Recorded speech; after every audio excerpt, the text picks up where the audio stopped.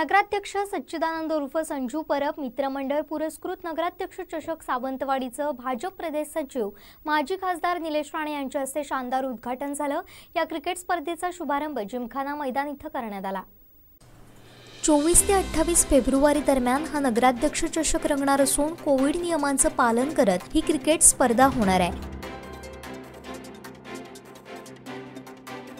माजी खासदार निलेश राणे यांच्या हस्ते या चषकाचं शानदार उद्घाटन झालं. यावेळी त्यांनी जोरदार फटकेबाजी केली.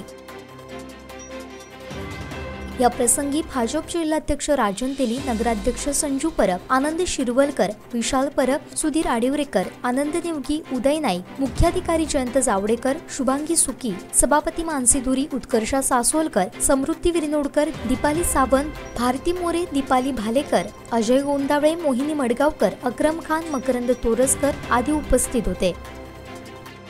स्पर्धा भरवतो.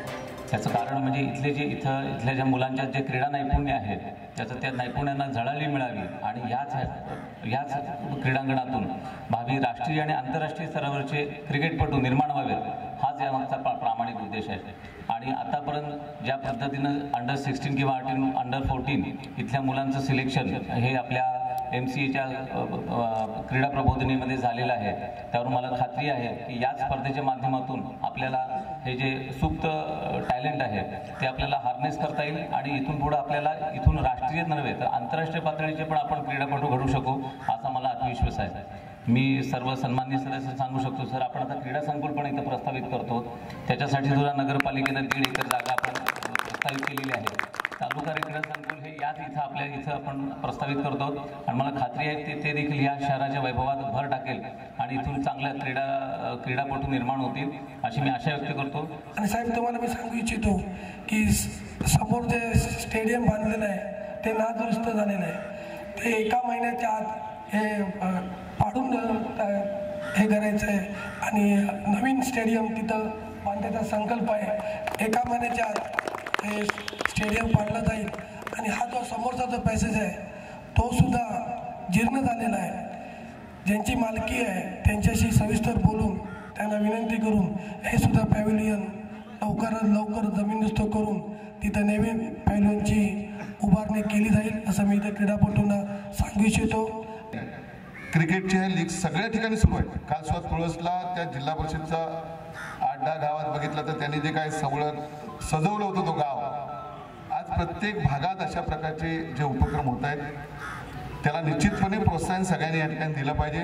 नगरपालिकेनं पण प्रोत्साहन दिलं. खरं म्हणजे हे जे स्टेडियम आहे हे स्टेडियमला एक वेगळा दर्जा आहे.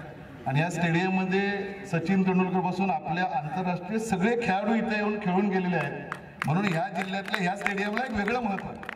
आणि म्हणून आता जे संजू परब यांनी सांगितलं इथलं पवेलियन असेल ह्या अनेक गोष्टी इथल्या लवकर व्हायला पाहिजेत कारण ह्या जिल्ह्यात फक्त दोनच असे स्टेडियम आहेत. एक वेंगुर्ला आणि एक सावंतवाडी. तिथंच काहीतरी या ठिकाणी अशा प्रकारच्या गोष्टी या ठिकाणी होऊ शकतात. आणि म्हणूनच मी या ठिकाणी शुभेच्छा देताना एकच गोष्टीचा उल्लेख करेन की गेल्या महिन्यात राणेसाहेबांच्या हस्ते आपल्या शिरोड्याची एक मुलगी या टीममध्ये आल्यानंतर तिचा सत्कार झाला. तसंच आमचा अक्रम खान इकडे आहे त्याच्या मुलीची सुद्धा निवड या अशा टीममध्ये झाली. खरं म्हणजे आता ही सुरुवात झाली आपल्या जिल्ह्यातून. आपल्या जिल्ह्यात बऱ्याच प्रकारचं टॅलेंट आहे आपल्या नगराध्यक्ष पण अष्टपैलू आहेत. सगळेच खेळाडू या ठिकाणी वेगळ्या पद्धतीने या ठिकाणी काम करत असताना आज अशा प्रकारचे खेळ खेळत असताना आज जो या ठिकाणी विश्वास आपण आपल्या जिल्ह्या जिल्ह्यातून उद्या राज्यात आणि आपल्या आंतरराष्ट्रीय खेळाडू निर्माण होण्याच्या दृष्टिकोनातून याचा खूप मोठा उपयोग या ठिकाणी होणार. आज राजकारणाचा कुठला भाग नाही. सगळे ज्या ठिकाणी पंचकृषीत दशकृषीत जे काही क्रिकेटची सामना तिथं पक्ष कुठलाच राहत नाही. सगळी तरुण मुलं एकत्र येतात. आणि मग ते पहिलं बक्षीस शिवसेनेचं असेल तर दुसरं भाजपचं कुठं पहिलं भाजपचं असेल तर दुसरं शिवसेनेचं. बरोबर सगळं जे काय करायचं ते अगदी व्यवस्थित त्या ठिकाणी करतात. आणि म्हणून या सामन्यातून निश्चितपणे चांगले खेळाडू घडतील. आणि ते खेळाडू घडण्यासाठी त्याचा पुढाकार आज सावंतवाडी नगरपालिकेने या ठिकाणी घेतलाय. निश्चितपणे चांगल्या पद्धतीने या ठिकाणी पुढच्या काळात काम होईल. आणि म्हणून आम्ही सगळी मंडळी याच्यात कुठलंही राजकारण न करता भावी पिढी या ठिकाणी भावी या ठिकाणी खेळाडू घडण्यासाठी जी जी मदत लागेल ती या ठिकाणी निश्चितपणे केली जाईल. शहराला काय गरज आहे? समाजाला काय गरज आहे? ते चित्र उभं करणं हे प्रत्येकाला जमत नाही. आणि संजू परब हे मी नेहमी आणि त्यांची सर्वच टीम. मी खरं तर सगळ्याच नगरसेवकांना मी मनापासून त्यांचं अभिनंदन करतो त्यांना शुभेच्छा देतो. एक मोठ्या मनाने हे सगळं आज घडताना आपल्याला दिसतंय. शहराच्या विकासासाठी सगळ्या नगरसेवकांनी एकत्र यावं सगळ्या पक्षांनी एकत्र यावं ही त्या शहरासाठी चांगली गोष्ट आहे. त्या शहराच्या हिताची गोष्ट आहे. आणि नेहमीच ह्या शहराला जसा या ग्राउंडला इतिहास आहे शहराला एक इतिहास आहे.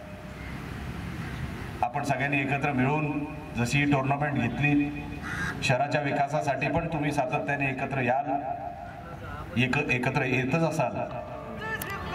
आणि शहराला त्या एकविसव्या शतकाचं शहर आपल्याला दिसलं पाहिजे.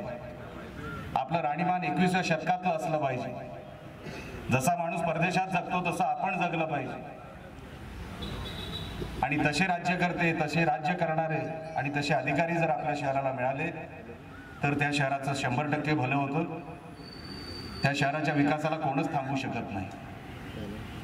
आणि आज पण मी जे पेपरामध्ये वाचत असतो सन्मान्य मुख्याधिकारी असतील सीईओ साहेब आमच्यासारखेच आरपार आहेत धडाडीचे आहेत.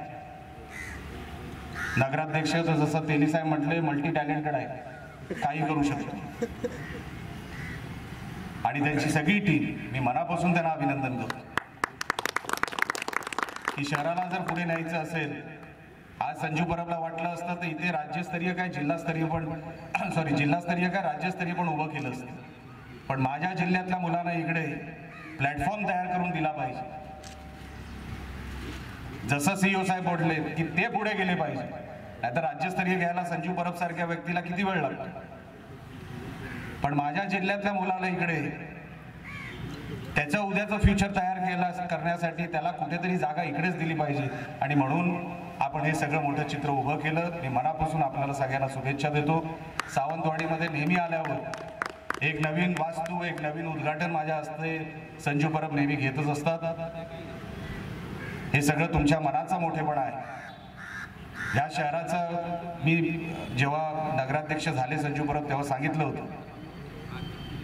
की जो शहराला अभिप्रेत अभिप्रेत असेल असा विकास शहरामध्ये झाला पाहिजे.